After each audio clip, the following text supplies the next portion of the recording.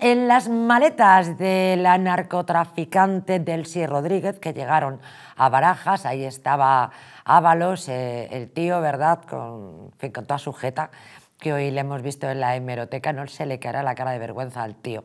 Bueno, nos ha fallado el Skype, yo les decía que antes de finalizar este bloque sondeaba la opinión de un periodista que sabe mucho sobre las maletas de Delcy Constillón Confidencial. Les comentaba que a las 7 de la mañana hoy arrancaba precisamente con este asunto. Albert Castillón, buenas noches. ¿Cómo estás, querida? Pues de la mañana te traigo a la noche y además con el mismo asunto con el que saludabas a España.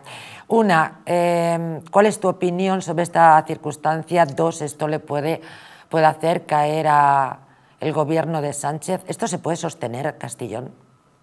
Yo creo que es el final, que estamos empezando a vivir el final del sanchismo. Solo hay una posibilidad de que se mantenga en el poder, es que del último golpe que le queda a un par de jueces y al Supremo y se convierta en un dictador igual que Maduro y a lo mejor hasta lo permitiría la Unión Europea. Pero excepto esa posibilidad es el final.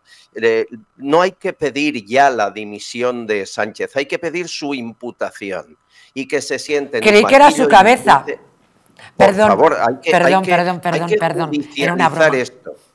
Claro, esto no es política esto es organización criminal, que es muy distinto. La UCO, la UCO eh, yo os digo, y he hablado con algún miembro de, esta unidad, eh, cuando llegó Sánchez y empezó a desbaratarlo todo y con la ayuda de Marlasca eh, pusieron contra la pared a varios coroneles, entre ellos Pérez de los Cobos, la UCO esperó paciente a que llegara su momento y ha llegado y ha sido muy fácil porque además han tenido muy poca prudencia, eh, se han sentido muy impunes y se han protegido de una manera muy cutre, muy vil.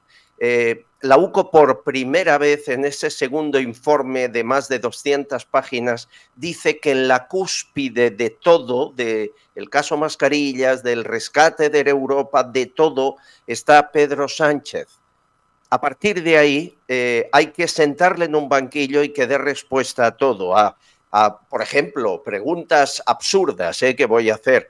¿Cuántos de los 104 lingotes de oro que eran para Aldama eh, se los quedó la familia, por ejemplo?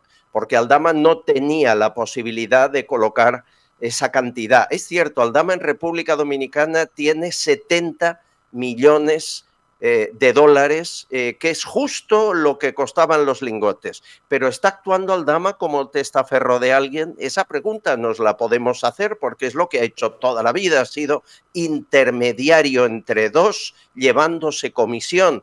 Bien, hay que preguntarle, ¿es usted Aldama, el señor Aldama que está ahora en prisión, intermediario de la familia Sánchez?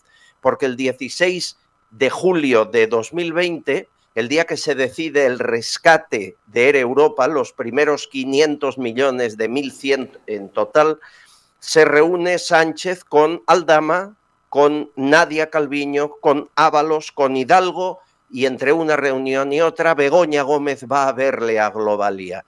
Entonces, eh, ¿de qué estamos hablando? De una organización muy bien engrasada que pillaba de donde podía, de las mascarillas, de los hidrocarburos, de las maletas de Delsi.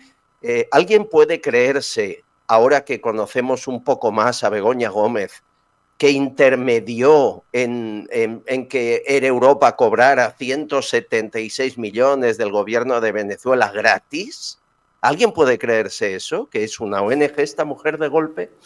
Eso es lo que hay que investigar, querida amiga. Tremendo. Muchísimas gracias, Albert Castillón a las 7 de la mañana, efectivamente, datos reveladores y esta idea puede ser que el gobierno caiga. Castellón Confidencial en YouTube, una comunidad cada vez más grande. Un abrazo. Un abrazo. Gracias.